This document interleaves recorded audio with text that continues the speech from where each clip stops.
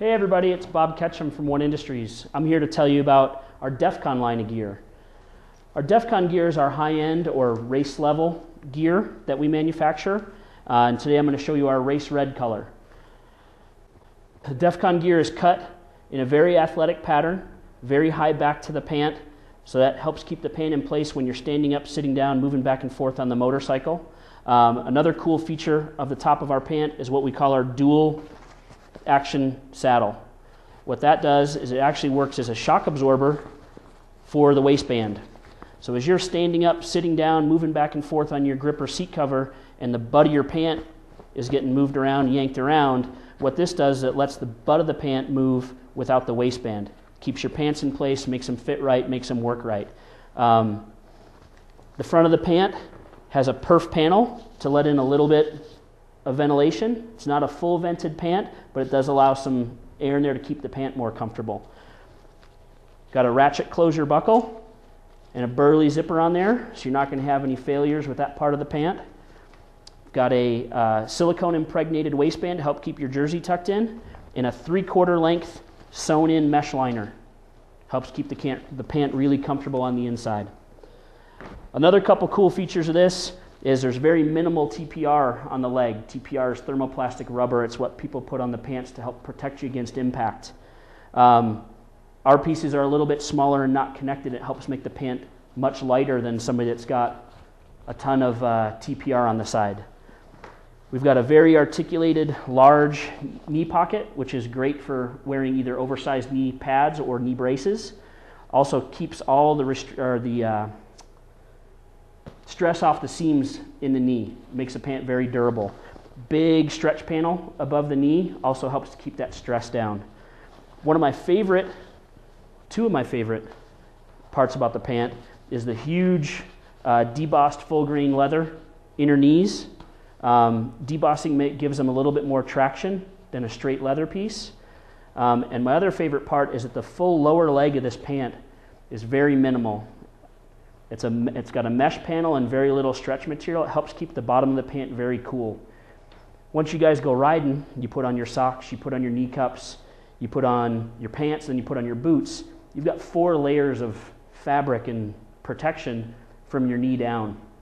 By keeping the bottom of the pant very minimal like that, helps to dissipate heat, make the pant more comfortable. I think when I go riding, I sweat more from the knee down than I do anywhere else on my body, but that's just me. That's our DEF CON pant. Along with the DEF CON pant, we have a DEF CON jersey. A couple cool things about the DEF CON jersey. It's a full 100% polyester, which is sublimated, meaning you can put it in the washer a million times, never going to fade. Colors directly into the fabric. Um, the collar on the jersey has a little bit of padding, so if you're a guy that runs a neck brace, EVS race collar, Alpine Stars Bionic, or a Leatt brace, gives a little bit of padding on your collarbone so it's a little bit more comfortable.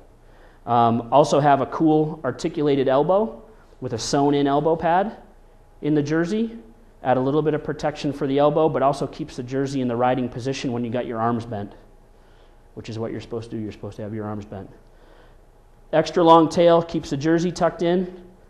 Big ventilation panels underneath the arms helps keep the jersey cool. So that's the DEF CON jersey, which is pretty rad. I'm also going to show you two different gloves. I'm going to show you the Zero glove, which is our lightweight, very minimalistic glove. Uh, full stretch panel on the back of the glove with a sewn on TPR logo. Very thin, unpadded, unreinforced palm with tacky grips on the fingers. So if you're looking for a glove that doesn't feel like you have much there, that's the Zero glove. Thumb protection for you guys that get Yama thumb. Definitely got a thumb reinforcement there. So great fitting glove in the Zero.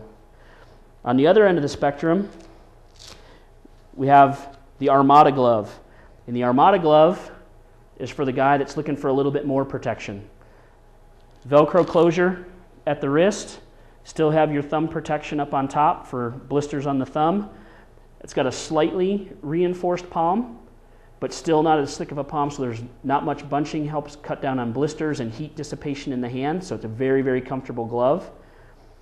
Got sewn on TPRs for a little bit of knuckle protection up top, as well as a gusseted knuckle. So it's very, very low resistance when you're bending your hand and your fingers. So very comfortable glove to wear.